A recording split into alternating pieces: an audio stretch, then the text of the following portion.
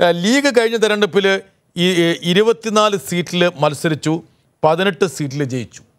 ഇപ്പോൾ ഒരുപക്ഷെ ഇനി കൂടുതൽ സീറ്റ് വേണമെന്ന് ലീഗ് ആവശ്യപ്പെട്ടേക്കാം. നോക്കുക ഞാൻ പറയാൻ കാരണമുണ്ട് അതിനകത്ത് കാരണമുണ്ട്. അതായത് കഴിഞ്ഞ തെരഞ്ഞെടുപ്പിൽ ഇരുപത്തിനാല് സീറ്റ് മത്സരിച്ചപ്പോൾ പതിനെട്ട് സീറ്റ് ജയിച്ചു. കോൺഗ്രസ് എൺപത്തിയേഴ് സീറ്റിൽ മത്സരിച്ചപ്പോൾ ജയിച്ചത് ഇരുപത്തിരണ്ട് സീറ്റിൽ മാത്രമാണ്. ലോക്സഭാ തെരഞ്ഞെടുപ്പിൽ മൂന്നാം സീറ്റ് എന്നുള്ളൊരു ആവശ്യം ഉയർന്നിരുന്നു ആദ്യഘട്ടത്തിൽ. പിന്നീട് അത് വേണ്ടാന്ന് വെച്ചു.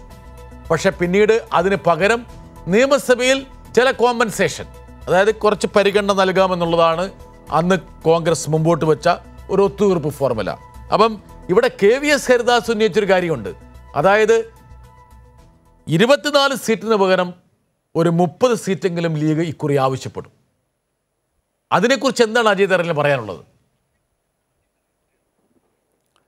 ബിട്ടാസെ ഇത് ഒമ്പത് മാസം കഴിയുമ്പോൾ സംഭവിക്കാൻ പോകുന്ന ഒരു വിഷയത്തെക്കുറിച്ചാണ് നമ്മളിപ്പോൾ ചർച്ച ചെയ്യാൻ നിങ്ങൾ പറയുന്നത്. ഒമ്പത് മാസം കഴിഞ്ഞുള്ള തെരഞ്ഞെടുപ്പിനെ നയിക്കാൻ വേണ്ടിയല്ലേ കുഞ്ഞാലിക്കുട്ടിനെ വെച്ചേക്കുന്നത്? അല്ല അല്ല അല്ല അല്ല. അദ്ദേഹത്തിന് ഈ നടക്കാൻ പോകുന്ന ഉപതെരഞ്ഞെടുപ്പിനെയും അതുപോലെ നടക്കാൻ ഒരു സെക്കൻഡ് ഞാൻ ചോദിച്ചോട്ടെ? അതായത് ഇന്ത്യൻ യൂണിയൻ മുസ്ലിം ലീഗിൽ എം കെ മുനീറിനെ പോലെ എത്രയോ കാര്യശേഷിയുള്ള നേതാക്കന്മാരുണ്ട്. അവർക്കൊന്നും പറ്റാത്തത് കുഞ്ഞാലിക്കുട്ടിക്ക് മാത്രമേ പറ്റുള്ളൂ. കഴിഞ്ഞ മൂന്നര പതിറ്റാണ്ട് കാലമായിട്ട് ലീഗ് രാഷ്ട്രീയത്തിന് അമരത്തിൽ നിൽക്കുന്ന കുഞ്ഞാലിക്കുട്ടിക്ക് ഒരു പകരക്കാരനെ ലീഗ് കണ്ടെത്താൻ പറ്റിയിട്ടില്ലേ? അദ്ദേഹത്തിന് ഡൽഹിയിലും കേരള തിരുവനന്തപുരത്തും ഒരുപോലെ ഒരു ഫയർ ഫൈറ്ററായിട്ട് അദ്ദേഹം നിൽക്കണോ?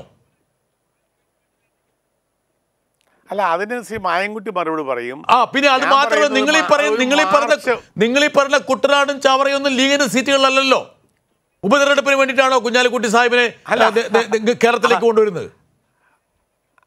അവരിൽ യു ഡി എഫിന്റെ ഒരു നേതാവാണ് കുഞ്ഞാലിക്കുട്ടി. ലോക്കൽ ബോർഡ് തെരഞ്ഞെടുപ്പ് വരാൻ പോകുന്നു. മാർച്ച് മാസത്തിലാണ് യു ഡി എഫിന്റെ യു ഡി എഫിന്റെ സ്ഥാനാർത്ഥി ചർച്ച നടക്കാൻ പോകുന്നത്. മാർച്ച് മാസം നമുക്കിരിക്കാം. ലീഗിന് കൂടുതൽ സീറ്റിന് അന്ന് അർഹത അവരെത്ര ഉണ്ടോ സീറ്റ് ഇല്ലയോ? ചോദിച്ചു അല്ല ഞാൻ പറയുന്നത് കേക്ക്. മാർച്ച് മാസത്തിലാണ് യു ഡി എഫിന്റെ സീറ്റ് ചർച്ച നടക്കാൻ പോകുന്നത്. അന്നേരം അവർ സീറ്റ് കൂടുതൽ ചോദിക്കുമ്പോൾ അതിനെക്കുറിച്ച് നമുക്ക് അന്നേരം സംസാരിക്കാം.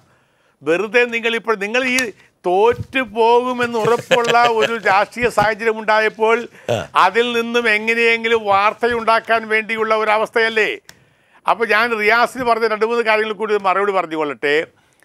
ഈ രാമക്ഷേത്രത്തിൽ തറക്കല്ലിട്ടപ്പോൾ ഞാൻ അദ്ദേഹം ഒന്നിച്ചിരുന്ന് ചർച്ചയിൽ പങ്കെടുത്ത ആളാണ്. ഞാൻ ഇദ്ദേഹം മൃദു ഹിന്ദുത്വം മൃദു ഹിന്ദുത്വം എന്ന് പറയുന്ന ഒരു വാക്ക് ഉപയോഗിക്കുന്നുണ്ടായി.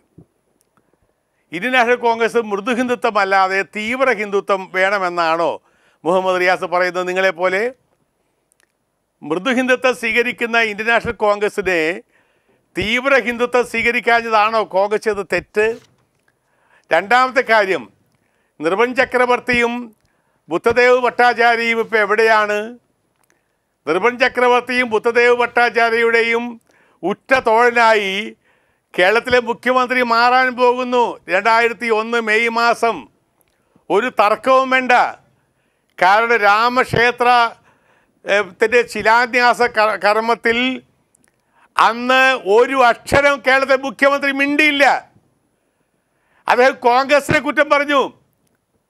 ഈ മുഹമ്മദ് റിയാസ് അല്ലാതെ സി പി എമ്മിലെ ഒരു നേതാവും രാമക്ഷേത്രം പണിയരുതെന്നോ അത് തെറ്റായി പോയെന്നോ ഒരു അഭിപ്രായം പറഞ്ഞതായി ബിട്ടാസിന് കാണിച്ചു തരാൻ കഴിയുമോ? കോൺഗ്രസിനെ കുറ്റം പറഞ്ഞു കമൽനാഥിനെ കുറ്റം പറഞ്ഞു രാജീവ് ഗാന്ധിയെ കുറ്റം പറഞ്ഞു. ഞാൻ നിഷേധിക്കുന്നില്ല. പക്ഷേ രാമക്ഷേത്രം പണിയാൻ പോകുന്നത് ശരിയല്ല. ഞങ്ങളിത് എതിർക്കുമെന്ന് പറയാനുള്ള ഒരു ആർജവം ഈ രാജ്യത്തെ ഒരു കമ്മ്യൂണിസ്റ്റുകാരനും ഉണ്ടായില്ല. എന്ന സത്യമാണ് നിങ്ങൾ മനസ്സിലാക്കേണ്ടത്? അതുകൊണ്ട് അവരുടെ മനസ്സ് എവിടെയാണ്?